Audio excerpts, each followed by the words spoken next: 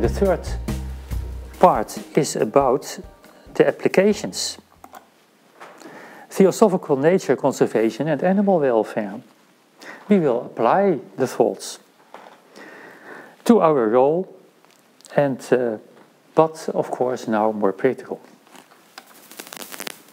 And here comes it. We will pay attention to first the ecosystems of planet Earth, then the animal kingdom, our duty, and thirdly to a practical question, can we feed ourselves without killing animal or plant? And finally to our mental influence as thinkers, as emanators. And then finally we will summarize. But at first, the first question, what is our role as humans in the ecosystems of the world? Well, in fact, you know, do our present acts and interventions create harmony or disharmony? That's the point. Is our footprint moderate or too large? And let us take away, firstly, a strong and widely spread misconception. And that misconception is the idea that we humans can only be a burden, can only be an enemy to the ecosystem by simply living here. But why, we say? Humans can just be very constructive factors in nature. Nothing prevents us to do that. And in fact, it has already been proven in past and present. And we have a few instances. We have, for instance, the Bishnoi, a group of people you may know in India living. They live in a semi-arid landscape already for many centuries without disturbing the natural balances. And one of their rules is that they do not cap trees. They may only use wood from branches that have been blown on the ground or from trees that died naturally. So, when they build a cottage, that may take more months or less months, more years or less years, just depending on the supply. Another example is the kingdom of Ashoka, also in India, some three centuries before Christ. A Buddhist uh, uh, king, and he, for instance, one example, uh, made drinking pools for wild animals. He also uh, had in his country many trees planted, also along the roads. And next example, recently we read, we didn't know it, that some 2000 years ago there were groups of people in China who deeply thought about what we now would call our footprint. They thought about the influence on nature and they, they described 180 ecological rules to follow. These were Taoists, so these were groups of people motivated by a Taoist viewpoint. And then, last example, from our country, the Netherlands, there was an interesting effect a few centuries ago. When the first inhabitants of the western swamps of the Netherlands, and then we talk about the Middle Ages, started to make dams and dikes and polders, in fact, they created a great a landscape that would become very rich in ecological variety. And that landscape would attract a great variety of meadow birds, insects, etc. Alas, that was not done with that purpose in mind, but it was indeed the result. Alas, later on, everything seems to be done more efficiently. People thought they should work more efficiently, which resulted in the present situation of monocultures and an overdose of nitrogen in the ground. So, we are able to make our footprint in harmony equilibrated with our natural habitats.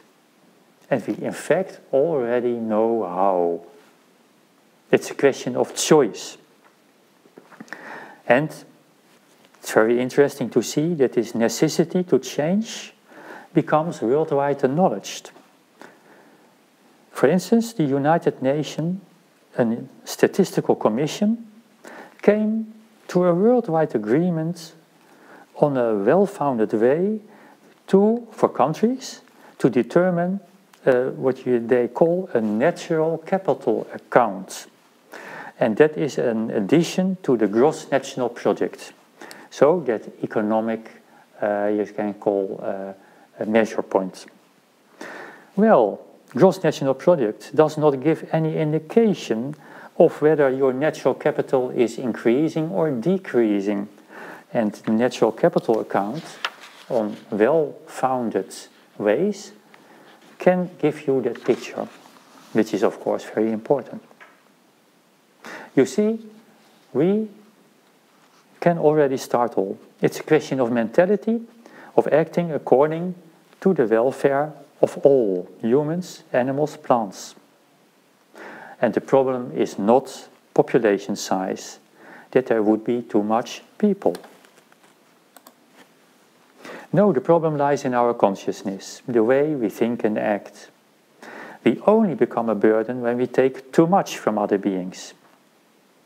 And we think when we learn to know ourselves as reincarnating egos, as translators of wisdom, we will give our practical needs our material needs their appropriate, very subordinate place. And that will be not a great challenge for us. It will be natural. Those practical uh, wishes will not be the leading factor anymore.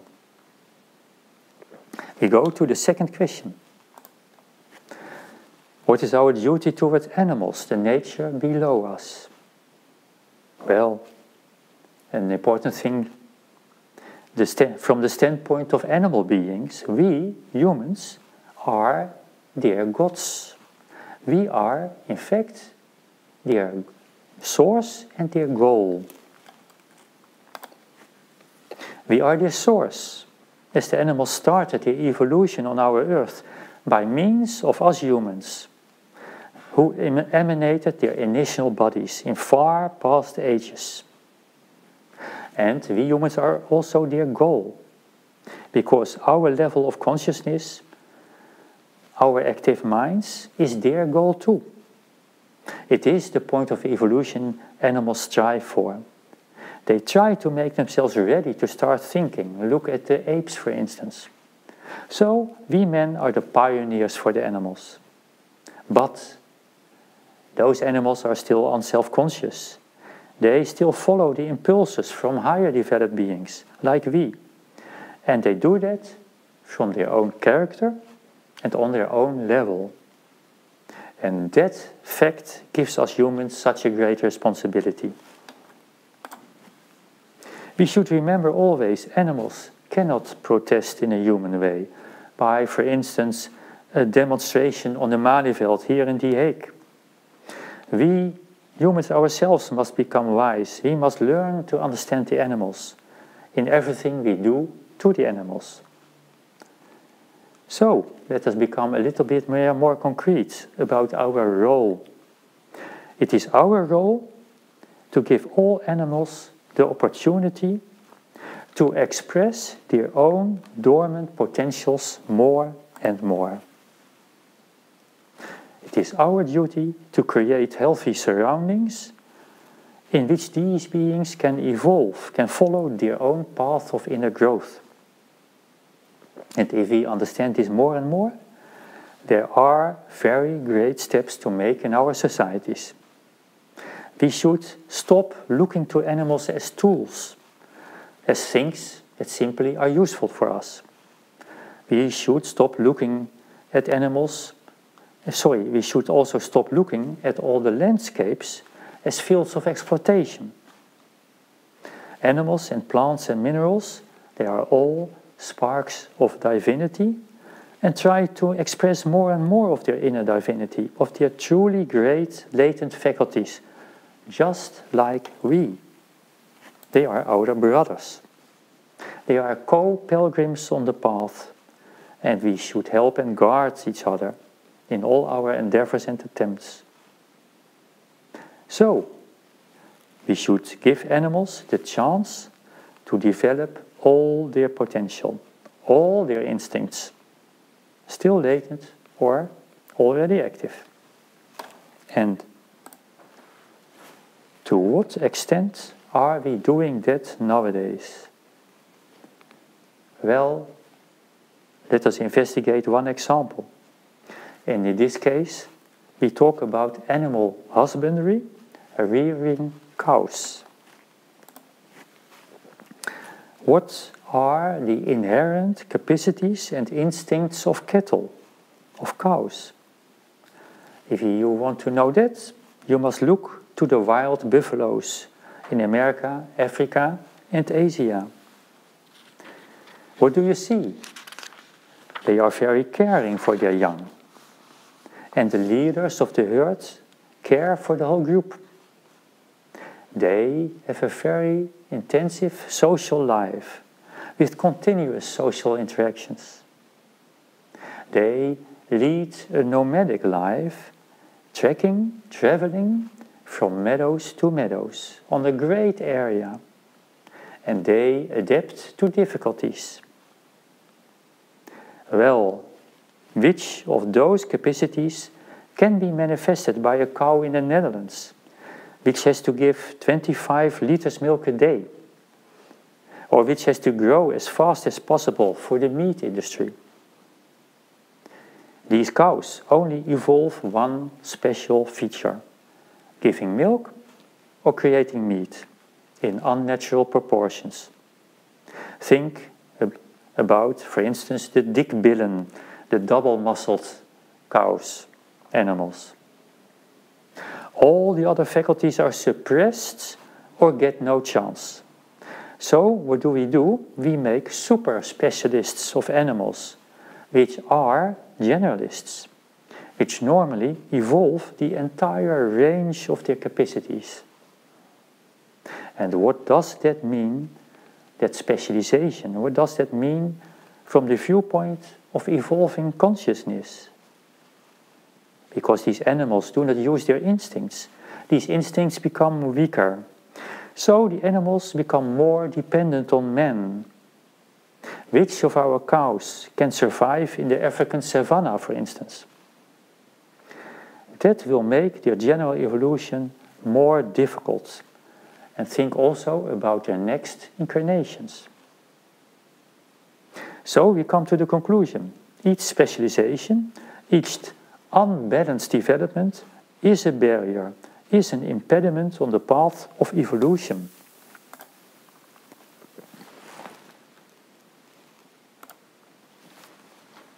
You can apply, and this is interesting, the same thought to other animals.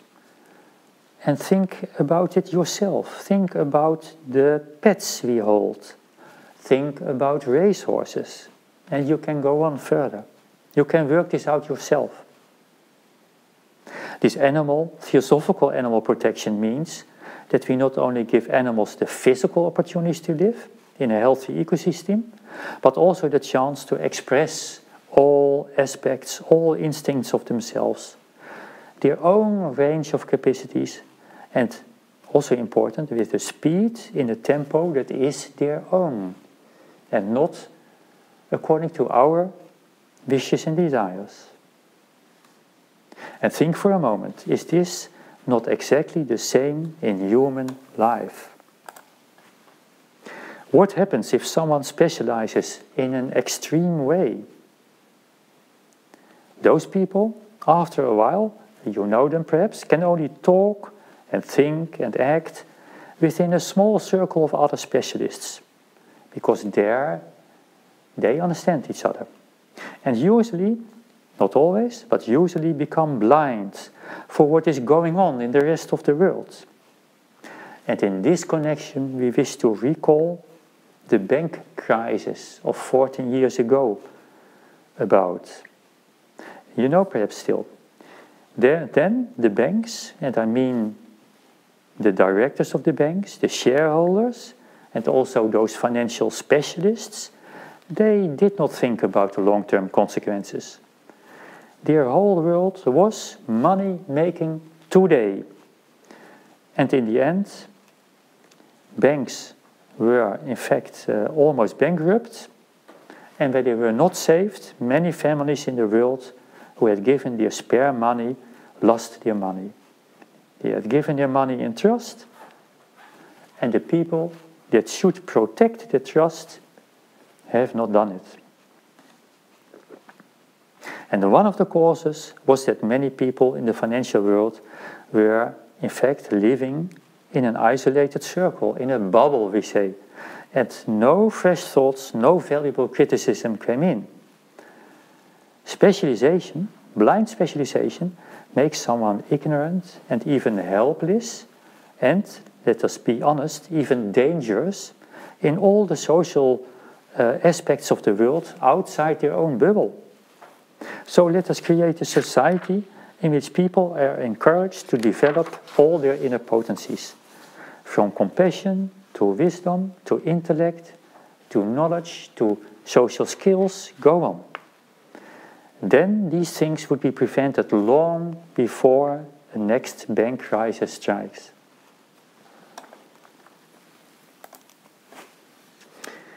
So, do we let people live in specialized bubbles, influencing blindly the society, or do we stimulate all to be complete human beings?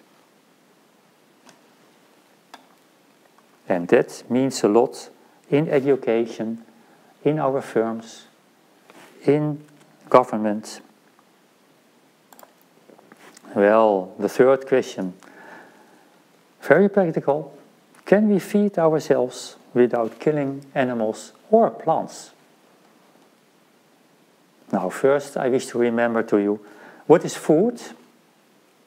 Food consists of matter, and matter consists of great number of living beings, primitive beings, like atomic and cell beings. So, when you eat something, you start a cooperation between your consciousness and the consciousnesses of those millions of cells. Some of these living beings will become living building stones in your body because they like it there. And other of those beings will very quickly disappear because they like other bodies and go on. But now the question, can we feed without killing animals or plants? And I will first look to the further future of humanity. We humans will evolve our higher minds and correspondingly will lift up our bodies. We will eventually elevate and spiritualize our cell entities and organ entities. So our bodies will become gradually more etherical. And etheric bodies do not need physical food. Our food will once be what we perhaps now would call radiation or energy streams. So we will not kill the body or an entity then. But now about the present, of course. Can we eat without killing the bodies of an animal or a plant? Now, when we look to the animals, it's not so difficult. You can perfectly have a vegetarian diet. Now looking to the plants. Think about it. It is possible to be a vegetarian without killing the bodies of whole plants. We can choose to eat those parts of a plant that do not lead to the premature death of the plant. So, it is possible to prevent the killing of the bodies of animals and plants. Well, some examples. Take the case with fruits, with nuts, with beans, which are abundantly produced by plants. The plant itself does not die. Second example, there are also uh, products that we harvest when the plant dies or nearly dies. And then you can may think about on wheat, rice, in fact, almost all grains, because when the grains are ripe, then the plant almost finishes its life cycle or really finishes it. They are reaped when the plant has dried out. Now, this is only to show you possibilities. It is not a rule. It is not meant as an advice. And the Theosophia, we must say, never give concrete rules. But it stimulates your own thinking, your own discernment. And why do you never find any do's and don'ts in theosophy? Simply because every person should translate the principal ideas by his own independent thinking to his practical life and his circumstances. Each person's situation is different, his responsibilities are different, and what is good for you may be bad for another. So each one can only determine for himself what he can or should eat. But theosophy gives thoughts to investigate, so thoughts as food. Well, the last question, eh? the third, the, the fourth. We go one step further. There is a real mental influence flowing from men to animals. And we already said we humans receive and send out thoughts. We radiate each thought that we think. And so, each thought that we think help to fill the whole mental atmosphere of the earth. Each second we contribute to that atmosphere. And that is a very real thing. We determine whether this sphere is filled with disharmonious, aggressive, nervous, limited thoughts or thoughts of helpfulness, perhaps love, sympathy, thoughts of cooperation. By our thinking, we influence all other human beings who are susceptible open to our specific frequency, open to the special color of our thoughts.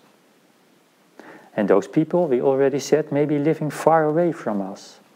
Yet we may easily influence them for the better or the worse.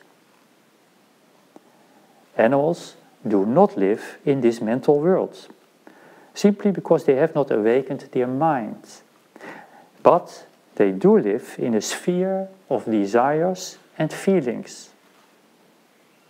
We call this the astral sphere. So, animals cannot directly undergo the influence of our thoughts. But now comes the point the mental atmosphere, which is one step more ethereal than the astral world, stamps his characteristics on the astral sphere. So, the astral sphere reflects all the thoughts in the form of astral influences positive, neutral, and negative astral influences. And that's why all animals are yet influenced more or less long, strongly depending on their own susceptibility.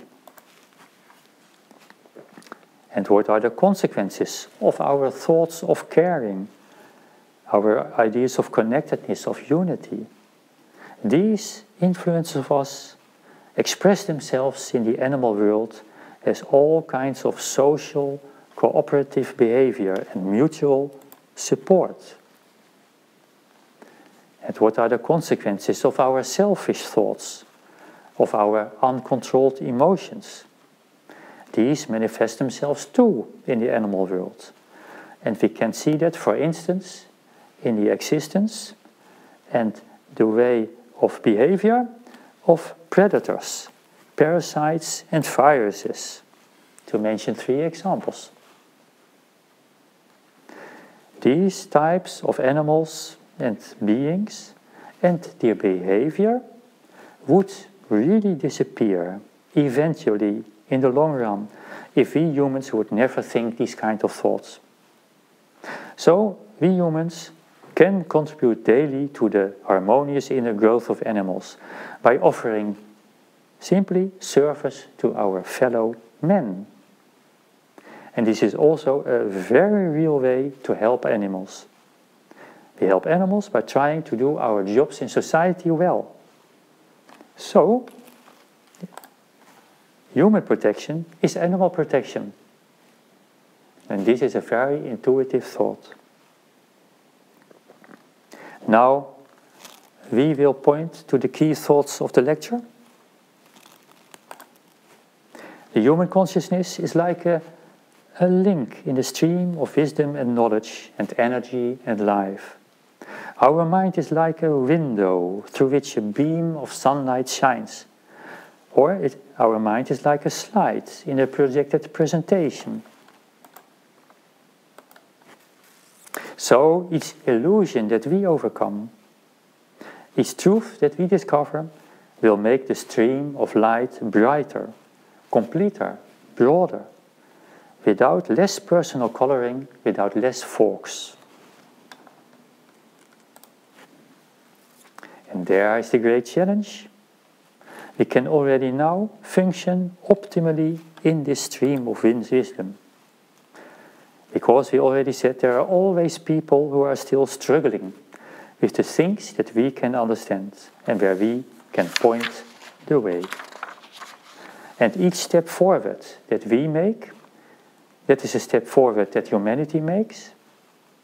And those steps forward mentally and also in our acts means also a step forward in the animal kingdom and in the plant kingdom because we go forward together.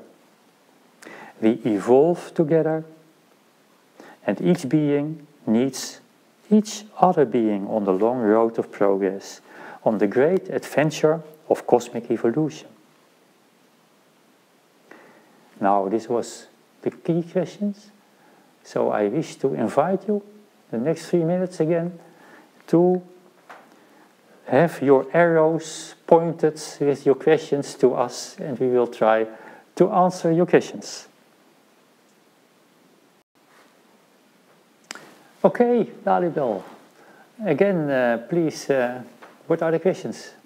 Uh, we've received at least two.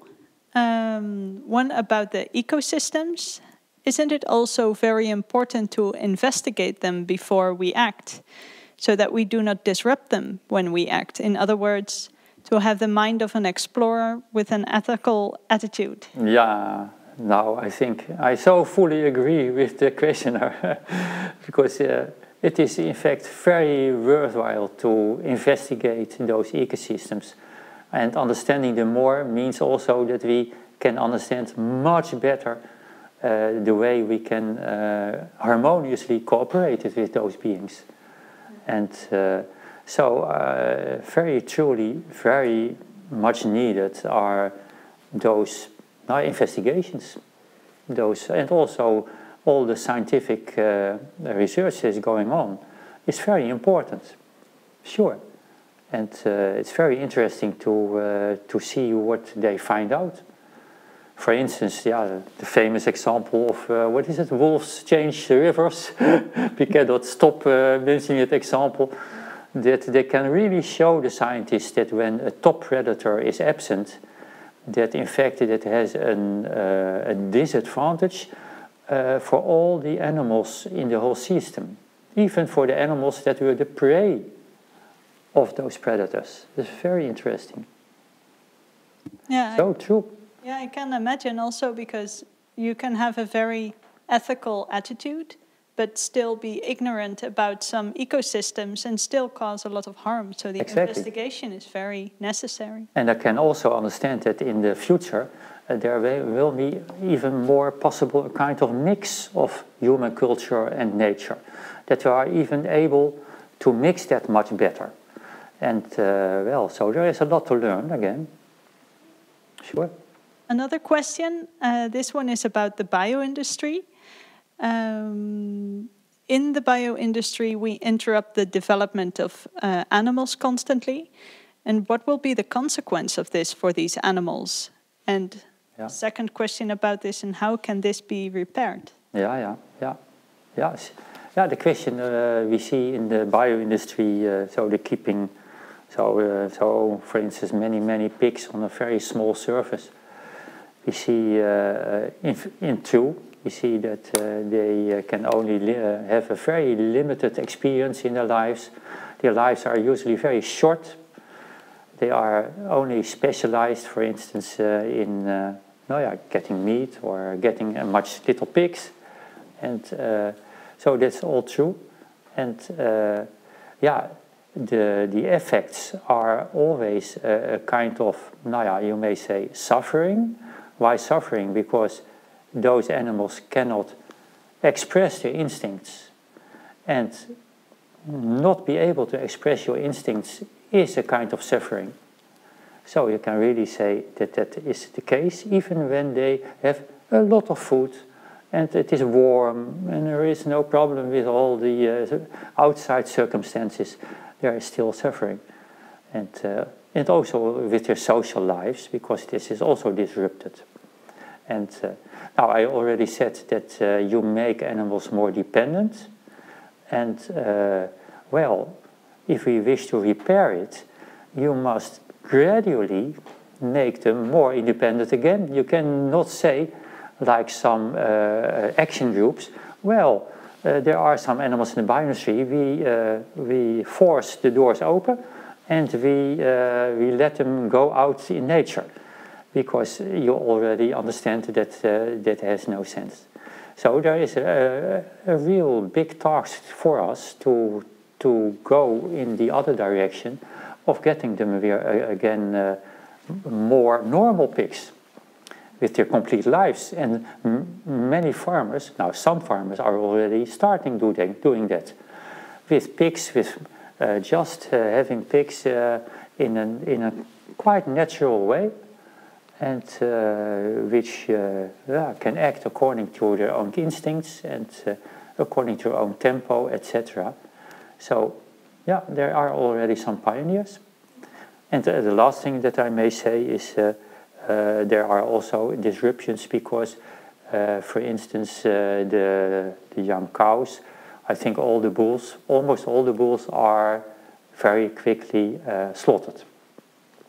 So, in fact, when you look to adult cows, almost all females. And well, that gives also, of course, a, a disruption.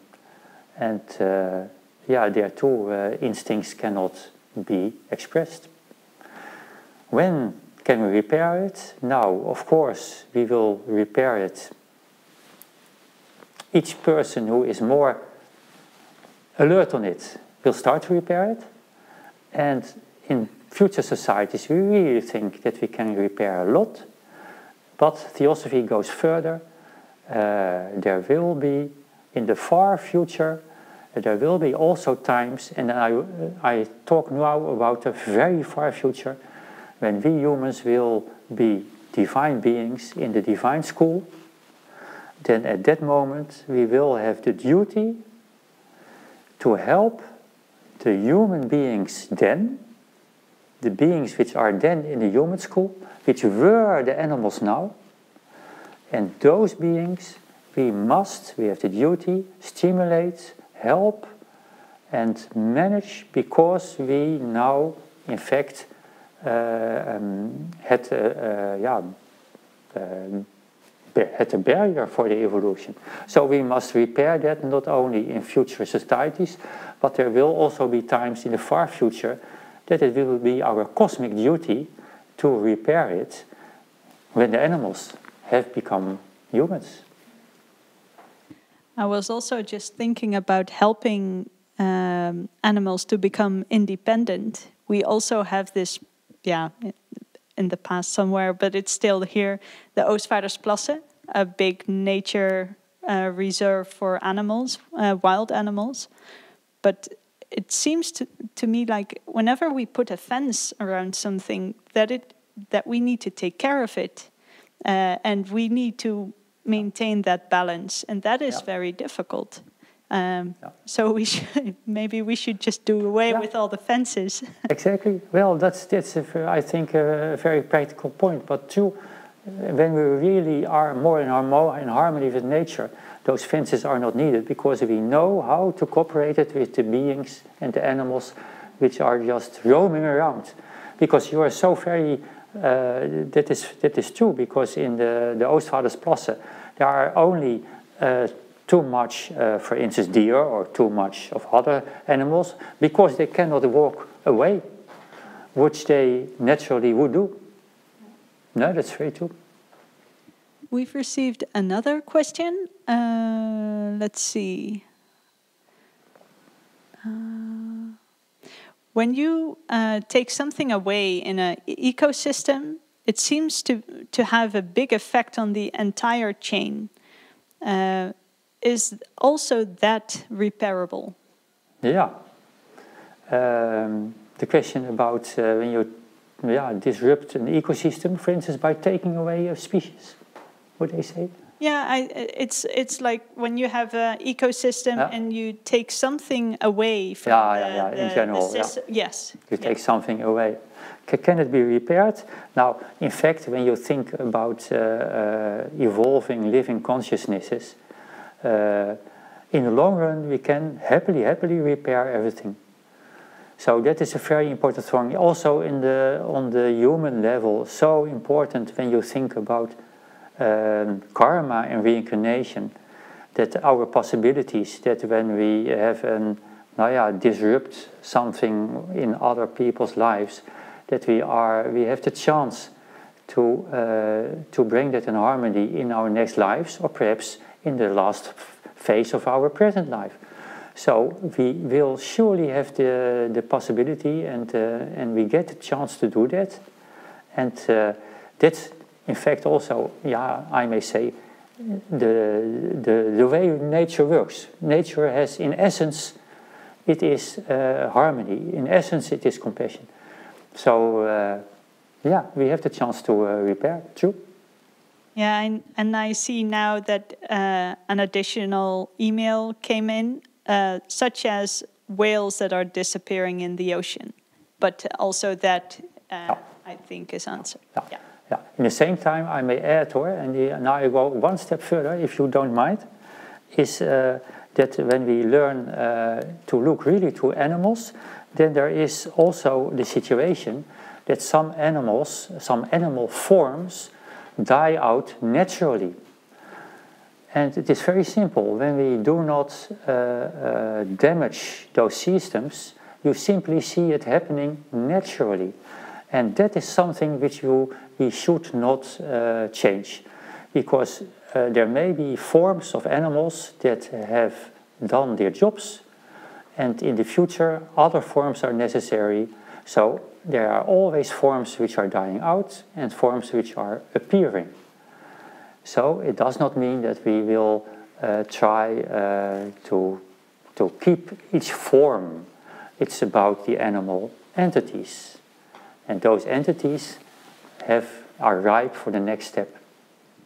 Uh, this is a good next quest uh, question that is coming up. Um, it's linked to this extinction. Yeah. Um, what is the fate of the animals that are bred, um, the bodies that uh, that we grow of animals that are actually in the process of extinction. So I think when we breed animals that are ah, yeah. actually in the process of extinction. Yeah, for instance, there. Uh, the, yeah, and they the, are due yeah. for a resting phase. What is uh, yeah, what is the fate for these? Yeah, I know examples like the rhinoceros, for instance, where uh, where we try to uh, keep them alive in, uh, in the dierentuinen, eh? the, the zoos, yeah. And uh, there are some other uh, examples, yeah. And yeah, it needs discernment. You must look very well and understand. So um, let us say this. I have no fast rule about it. It may be that the rhinoceros form is dying out, but we are not so very sure because uh, uh, almost all the problems with the rhinoceros are forced by men, by uh, stropen, uh, this, the people who, uh, uh, who kill them. And uh, so that means that perhaps those, that form is not dying out. And then, yeah, the only, yeah, perhaps possibility is that zoos try to bring them back to nature as quick as possible. Because when they are for many generations in the zoo, you have the same problem. They are, are not uh, able anymore to, uh, to live in nature. But I know about some monkeys that are brought back to, I think, the Atlas Mountains from the Netherlands. There is an, uh, a monkey uh, uh, center and then they really there goes again some uh, 20 monkeys and then they prepare it and they those uh, 20 monkeys are also for a while um, how they got guarded and uh, helped finding out their way And how are they now? how is it? Oh, how are they now? Oh, I'm also curious. well, if they uh, if they stay here and uh, uh, multiply, then apparently they weren't on the Yeah. brink of extinction. Yeah. That's why I was. Uh, yeah, exactly. Be very careful. yeah. Yeah.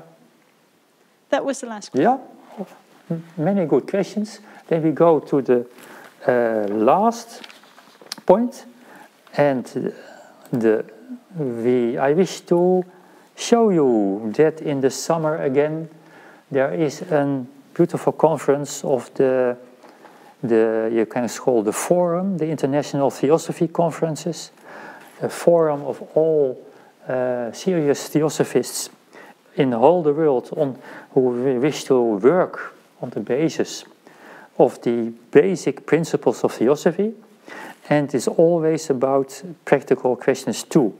And this time the title is a mind to embrace the universe. So we dive into the possibilities of our mind some questions were about it and the universe understanding the universe. It's in end of july so, if you like, look at the website. And there is the course Thinking Differently again after the summer, and the course Life Wisdom. And uh, I wish to show it to you. We will, after the summer, organize again those courses where you investigate, where you discover in a group, very nice, the entire range of faculties hidden in your minds. So, and then I come to the last point the invocation. And this is really my last word. It's a call inwards to the, our universal self, which is the universal self in all beings. O thou golden sun of most excellent splendor, illumine our hearts and fill our minds so that we, recognizing our oneness with the divinity, which is the heart of the universe, may see the pathway before our feet and tread it to those distant goals of perfection, stimulated by thine own radiant light.